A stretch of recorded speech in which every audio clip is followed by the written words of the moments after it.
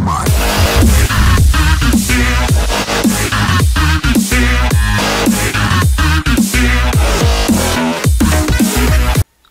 Hey guys, HD Gaming here, and today I'm going to be showing you guys how to make your BeamNG game faster tw in 2015, as of now, 6 3 2015.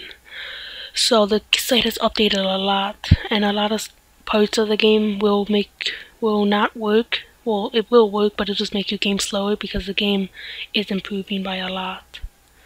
So everything's getting more slower, and it's starting not to work when you lower your settings all down. But when you just click options, it should have your graphics card and everything of what you're using. Like I'm using an AMD.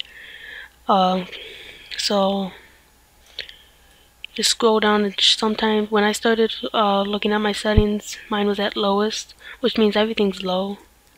But sometimes yours can be at really high. So you just want to make sure it's at custom and make sure that everything's what you want it to be. So right now everything's at high. So you just want to make sure everything's at lowest.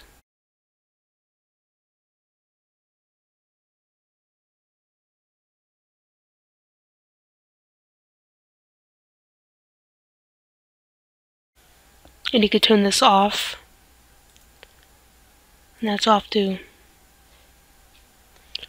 Alright, so now that you got this all done, you go.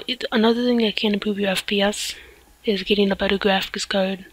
Some graphics cards are op they make for optimized. Opti uh, can optimize your game like GTA 5. They made one for Nvidia and AMD to optimize your game. So those are the two main graphics cards you're going to want to get. You can just go off the site and just get uh, buy one.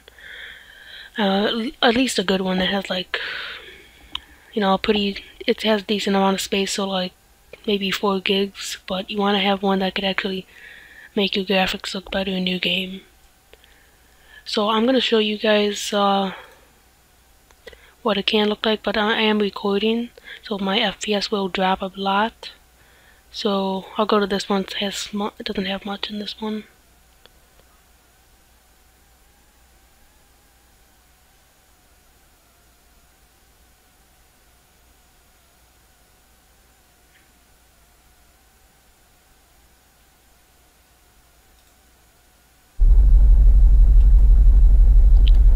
Alright, so you see I'm lagging a lot because I am recording and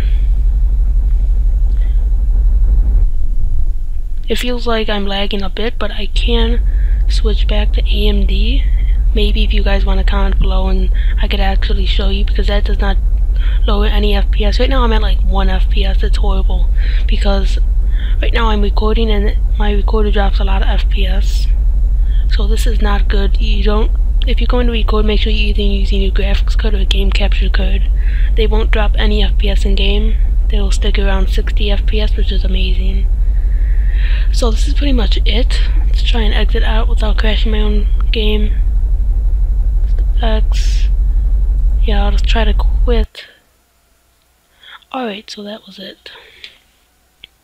If you guys have any questions or concerns, please comment below. And if you guys want me to do a tutorial on something, that you guys think that you need help with, just please comment below. And I'll see you guys later. Bye.